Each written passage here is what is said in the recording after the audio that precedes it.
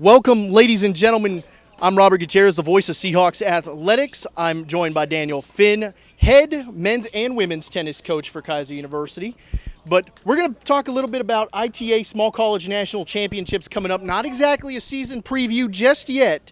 We will get there. But ITA Small College National Championships in Surprise, Arizona for the first time in school history. Keiser University will be represented. And we're not just sending one player, we're sending three.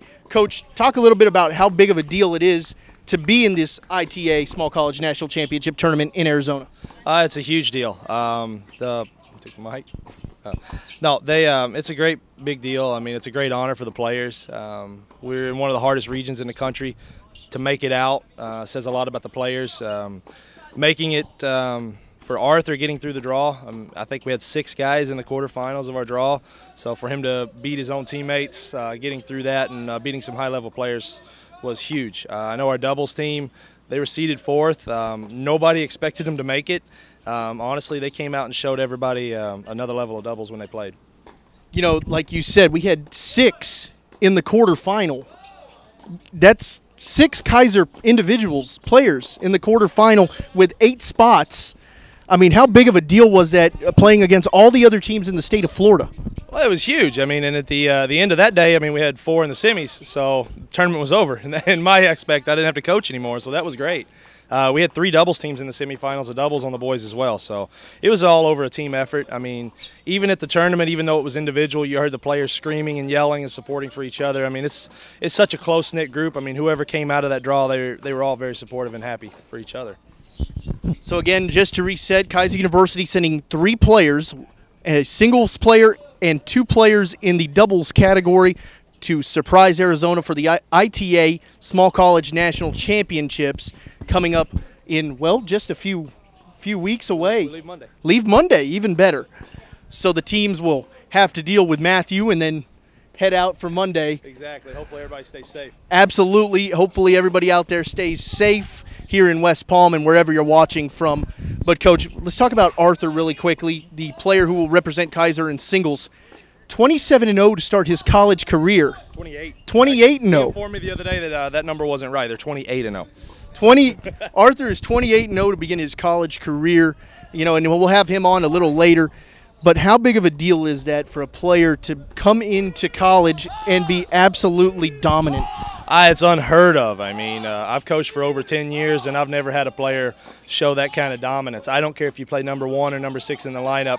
Every day, having to bring it at that level, it just says a lot about him. I mean, and to get through the tournament as well uh, in the fall. I mean, he wasn't just playing number fours and number three seeds of other teams this fall. He was playing everybody's best player. So to get through that tournament says a lot about him. And I mean, the young man just works hard. He comes out here every day. He busts his tail, and I mean that's all you can ask for him. Couldn't be happier for an individual to have that kind of success. Um, you know, hopefully it'll keep going. You know, we go back and we look at expectations, and obviously coaches have, hold a lot higher expectations than than a lot of people. But this is a team that did a lot of firsts last year, that did a, their first conference title win, first championship. You know, as a team overall. Not only that, but you beat a Division One team, an NCAA Division One team in NJIT, New Jersey Institute of Technology. You know, how high are your expectations for this year, knowing that hey, our fall schedule, ITA, you know, regional state championship went awesome. We're sending three players. How big of a deal is it? How high are your expectations for this? Uh, to be honest, we don't have expectations. My only expectation every day is to be better today than we were yesterday and to be better tomorrow than we are today. Um, as long as the players buy into that and they keep that focus and they keep that intensity every day and, and push forward, then the results follow. You know, and that's the biggest reason. That's why we've had success. That's why we had success last year. That's why Arthur's been so successful this fall. Um, he's not worried about the tournament. He's not worried about you know the result itself. You know, he knows the result's going to take care of itself as long as he comes out and plays free and plays hard. Absolutely have to agree with that. Keiser University sending three players to the ITA Small College National Championships in Surprise, Arizona. The team leaves Monday, and of course, you can follow all the action on KUSeahawks.com, your source for all things Keiser University athletics. Coach, thanks for your time. You Let much. you get back to practice. Keiser University sending three players to the ITA Small College National Championship. You've been listening to the voice of Seahawks athletics, Robert Gutierrez, on the Seahawks Sports Radio Network.